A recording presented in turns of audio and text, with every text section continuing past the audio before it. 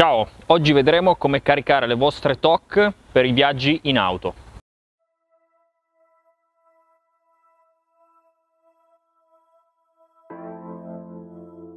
Per caricare la bici con entrambe le ruote montate la prima cosa da fare è ribaltare il sedile della seconda fila in questo modo in modo da avere lo spazio per infilare la ruota anteriore o posteriore sul battipiede della seconda portiera.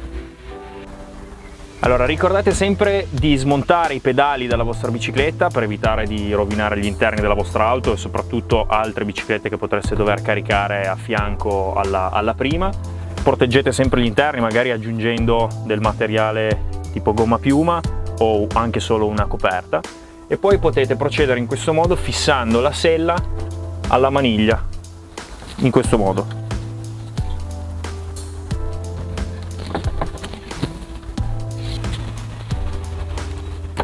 In questo modo la bicicletta sarà molto stabile e non si muoverà assolutamente. Nel caso in cui dovesse caricare due biciclette complete senza rimuovere la ruota anteriore, due consigli. Il primo, caricare le bici testa-coda, vi farò vedere adesso come, e per limitare gli ingombri potete anche allentare il manubrio in modo da girarlo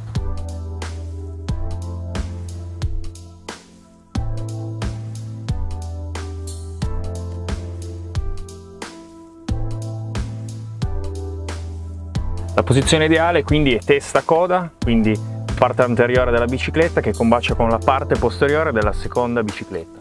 Ricordate sempre di inserire qualcosa tra i due telai in modo che non si rovinino e ricordatevi sempre di assicurare le vostre biciclette. Prima di utilizzare la bicicletta naturalmente ricordatevi di ripristinare la posizione corretta del manubrio facendo attenzione ad eventuale gioco sulla serie sterzo e poi ricordatevi di stringere le apposite viti di fissaggio. Se avete la macchina di dimensioni più piccole o se per necessità non potete abbattere i sedili della, della seconda fila, potete comunque caricare la vostra bicicletta rimuovendo la ruota anteriore.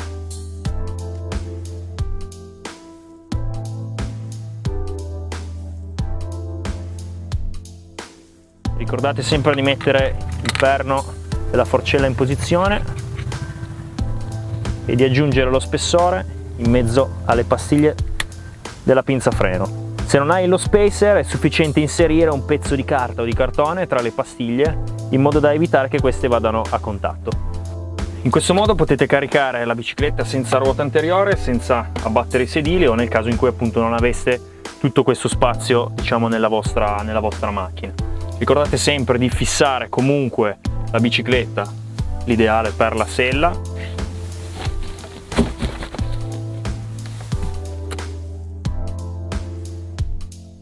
Nel caso in cui la vostra automobile avesse uno spazio di carico davvero ridotto potete comunque caricare la vostra TOC in auto rimuovendo anche la ruota posteriore. Prima cosa da fare è portare il cambio e la catena sul pignone più piccolo in questo modo poi possiamo procedere smontando la ruota.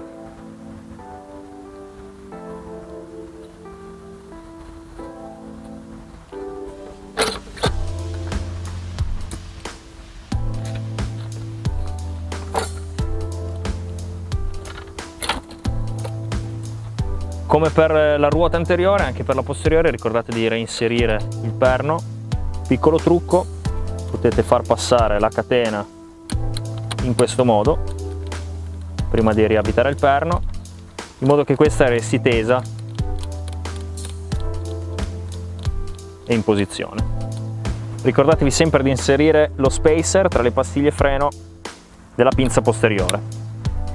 Basta adagiare delicatamente la bici all'interno dell'abitacolo in questo modo magari aggiungendo anche una protezione sulla zona del carro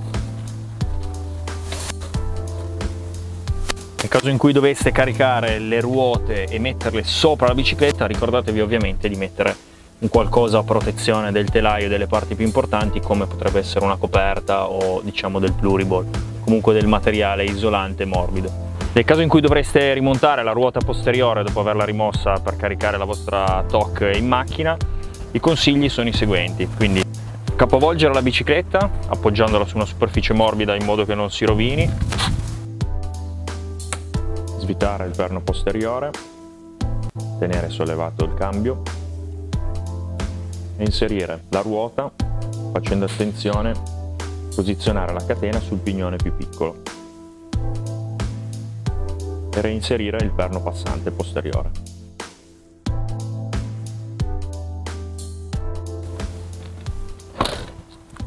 Pronti per partire.